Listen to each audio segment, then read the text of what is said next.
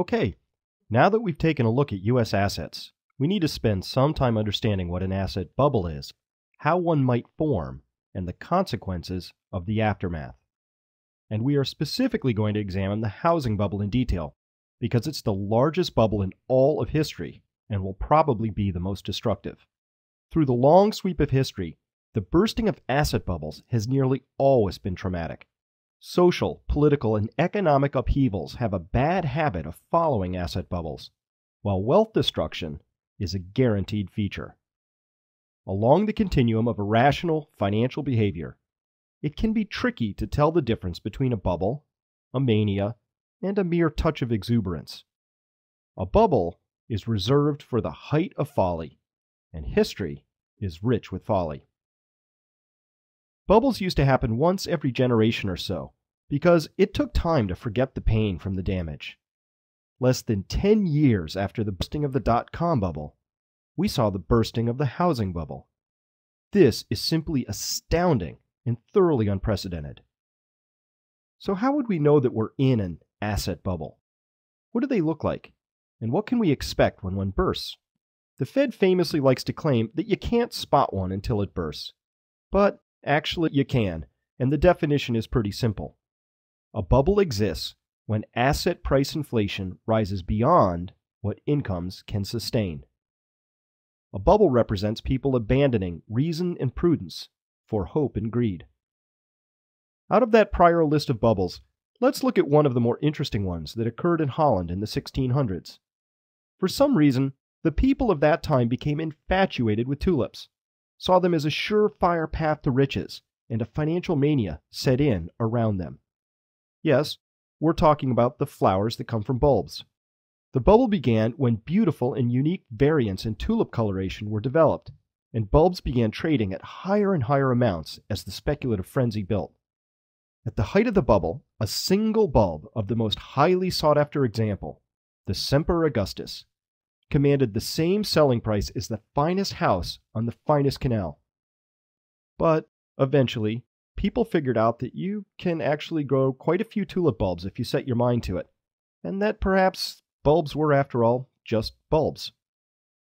It is recorded that the tulip craze ended even more suddenly than it began, ending almost in a single day at the start of the new selling season in February of 1637. On that day, a silent whistle blew that only dogs and buyers could hear, and prices crashed. This example illustrates two characteristics of bubbles. First, that they are self reinforcing on the way up, meaning that higher prices become the justification for higher prices. And second, that once the illusion is lifted, the game is suddenly and permanently over. A second example of a bubble comes from the 1700s and goes by the name the South Sea Bubble. The South Sea Company was an English company which was granted a monopoly to trade with South America under a treaty with Spain. The fact that the company was rather ordinary in its profits prior to the government monopoly did not deter people from speculating wildly about its potential future value, and the share price rose dramatically. Nor did the fact that the company was billed as a company for carrying out an undertaking of great advantage, but nobody to know what it is. Sir Isaac Newton when asked about the continually rising stock price of the South Sea Company, said that he could not calculate the madness of people. He may have invented calculus and also described universal gravitation, but he also ended up losing over 20,000 pounds to the bursting bubble, proving that intelligence is often no match for a bubble. In 1720, the South Sea mania took off, displaying a textbook perfect example of an asset bubble. Here we see reflected two additional essential features of bubbles. They are roughly symmetrical in both time and price. That is, however long it took to create the bubble is roughly the amount of time it will take to unwind the bubble, and prices usually get fully retraced, if not a bit more.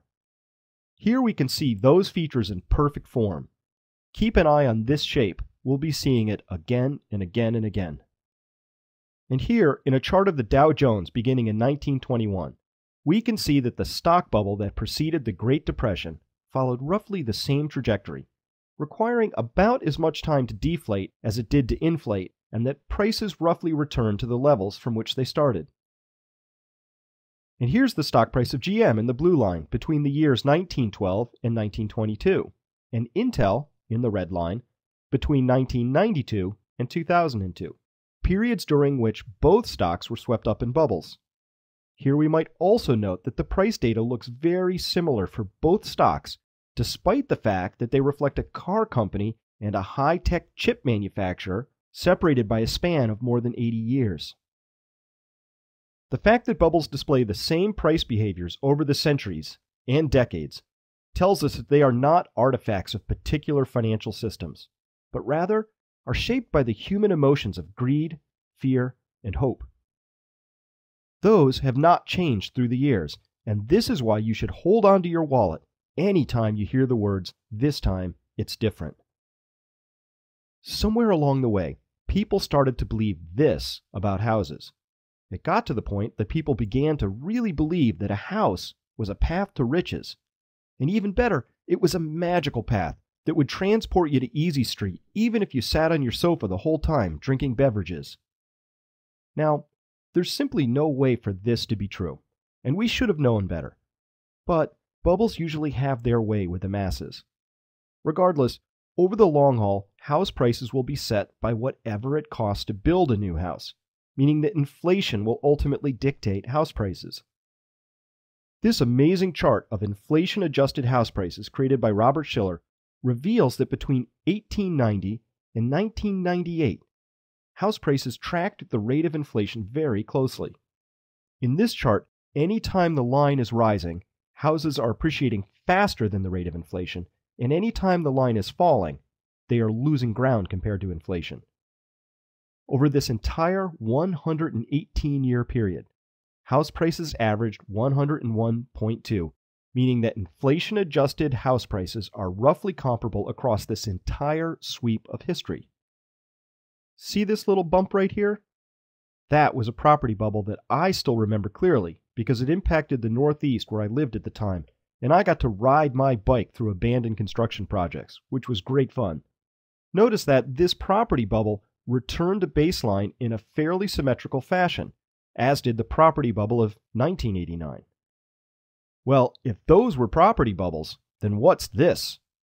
This housing bubble has no historical precedent and is massively out of proportion to anything we've ever experienced before.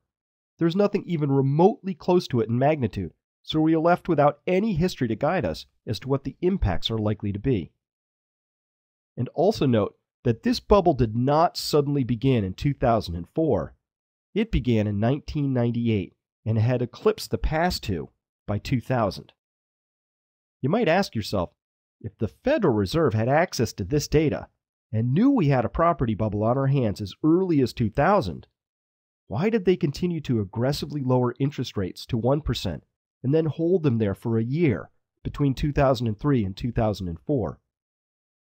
Well, that's a darn good question, and I'll get to that in a minute. Based on this chart, where and when might we predict that this bubble will finally bottom out?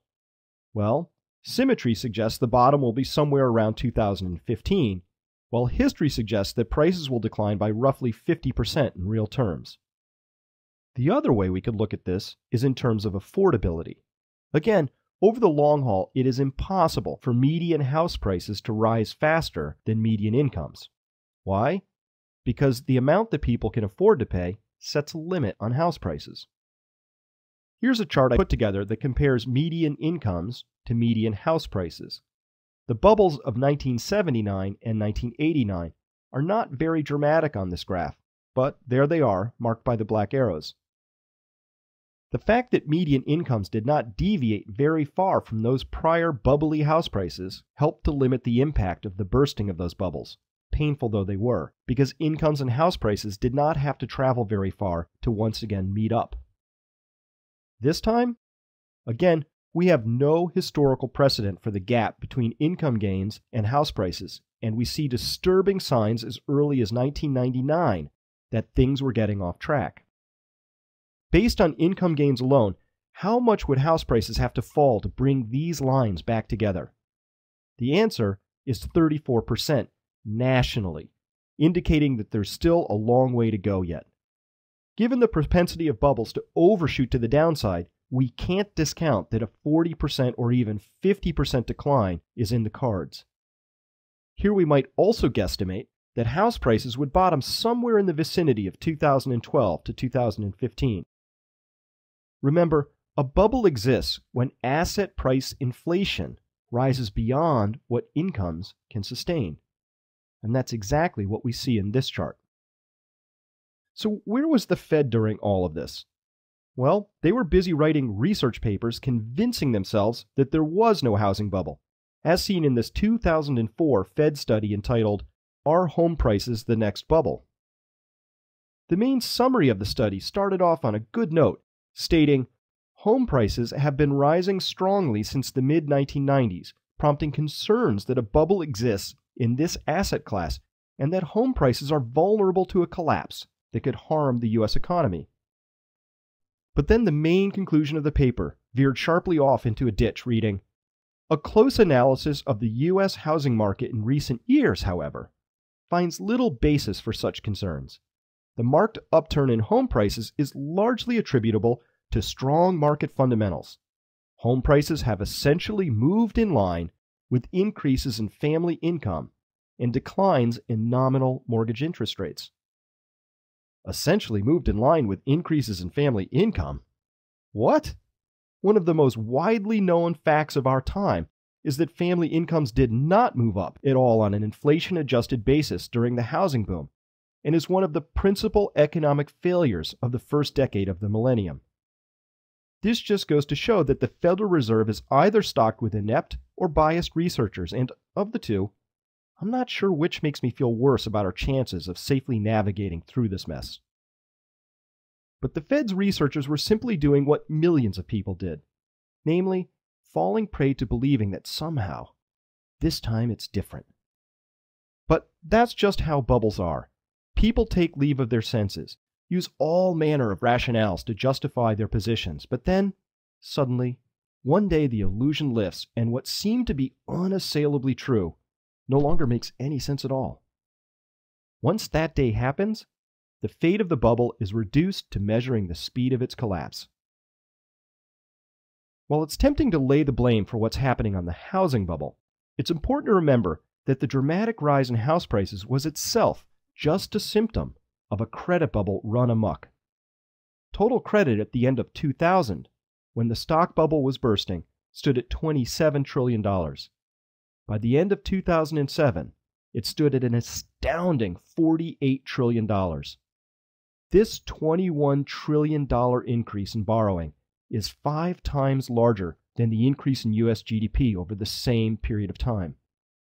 Any attempt to understand the housing bubble has to be viewed against the backdrop of this massive increase in debt. But as we noted in an earlier chapter, this credit bubble has been going on for 25 years. Unwinding a multi generational debt binge is going to require some enormous changes in attitudes and habits.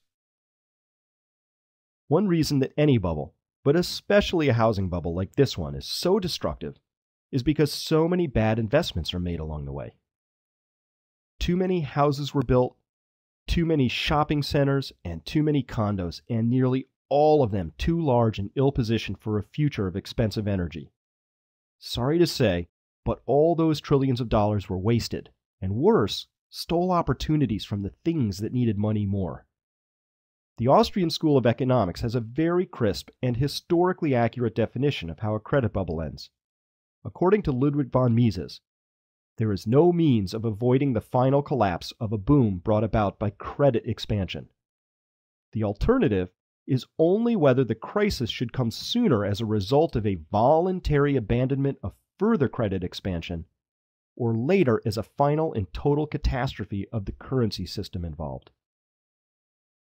This is a view I happen to ascribe to and explains my strong preference for placing my wealth out of the path of a potential dollar collapse. As a nation, we've undertaken desperate measures to avoid abandoning the continuation of our credit expansion, leaving a final catastrophe of the currency as our most likely outcome. As for the timing, it could hardly be worse. Dealing with a bursting housing bubble is hardly the sort of challenge we need at this particular moment in history, but here we are. The stewardship and vision displayed by the Federal Reserve in Washington, D.C. in bringing all of this about has been utterly atrocious. So, what can we expect from a collapsing credit bubble? Simply put, everything that fed upon and grew as a consequence of too much easy credit will collapse. I am especially leery of financial stocks, low grade bonds, and of course, real estate. I see very few conventional ways to protect one's wealth, and so I invite you to begin asking yourself, and if you have one, your financial advisor, some very hard questions about the safety of your holdings. You'll be glad you did. Remember, this time it's probably not different. Please join us for the next chapter, where we will explore the extent to which we have been telling ourselves pleasant half truths and other falsehoods, which I call fuzzy numbers. Thank you for listening.